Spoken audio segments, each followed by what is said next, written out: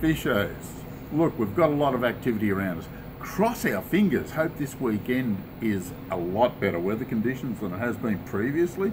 Look, tell you, it's been ordinary. It's been hard to fish. But uh, in saying all that, in those breaks in between the crap weather, the fish has been out there and cleaning up. There's a lot of fish getting caught. Dartmouth, we're still extremely happy with that. Seems to be lead line, Ford Fenders or cowbells, down a little bit deeper, single hook and worm on the back. Seems to cover the options, pretty basic, does the job nicely. Hume Weir seems to have picked up again over the last couple of days. Get good weather, you'll get good fish. Uh, some reasonable reedies, up to about 42 centimetres, trolling or bait fishing around the trees. Not big numbers, but you might get your 10, 11, 12, 13, uh, even a bit more through the day. Uh, don't expect them to all be that size, but some good ones. Some nice yellows getting caught as well. We're happy with that. No reports from my way yet, but uh, after the weekend, uh, don't forget, cod season starts on Sunday. Uh, and we'll start getting those uh, reports from while and that flow in again because it's a pretty hot bit of water, I can tell you. Murrumbidgee River, oh, how good is it?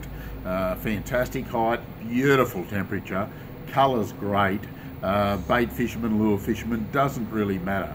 Trolling, casting, look, get into it. Go and catch some fish, have some fun get out there on Sunday and start chasing some cod.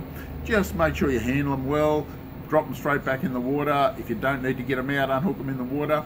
Uh, a lot of small fish, uh, use circle hooks if you can. Uh, wide gaps or circles will cover the options pretty well. Um, bigger baits if you're chasing cod, looking real promising at the moment. There's still a few yellows getting caught, don't forget that. Shrimp and small yabbies for yellow belly. Uh, there's quite a few shrimp in the river too at the moment. Uh, the channel's fishing well, uh, getting a few shrimp out of there. Old Creek's not too bad, been a bit patchy.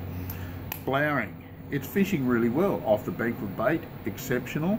Uh, there's been a few reports of a few dead cod floating around up there and a lot of people are starting to get carried away and talk about uh, oh they're not handling properly and that this is not the case I can assure you of that um, we think it might be just a natural occurrence could it be a water turnover or something like that uh, but we will let you know when we get more information on that but don't panic about it go fishing catch fish have fun enjoy yourself uh, getting a few yellows out of it, a few redfin out of it. Off the beak with Yabby seems to be the most consistent.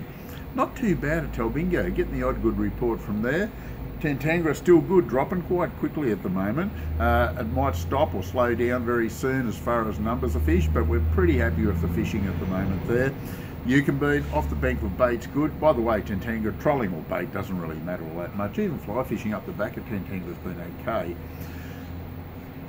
like I say, Eucumbene, not bad. Bait fishing seems to be the best. They are trolling quite a few up there. The slim minnows seem to be as good as anything else. Wyangala Dam, good fishing there at the moment, very good fishing. Uh, they're getting some good yellows out of it. There will be a lot of cod when people start uh, targeting them. Uh, TN60 Jackall seems to be pretty uh, consistent up there, especially cast around the little uh, outcrops of uh, rocky outcrops points, anything like that, in three to five metres of water. Burrinjuck, very good. It's really fired up now. Over the last few days, we're getting reports everywhere from Burrinjuck. Uh, shrimp small yabbies are going to be a prime bait there. You're going to use lures, obviously the little black grubs, whether it be the lunker or the gulp, it doesn't matter.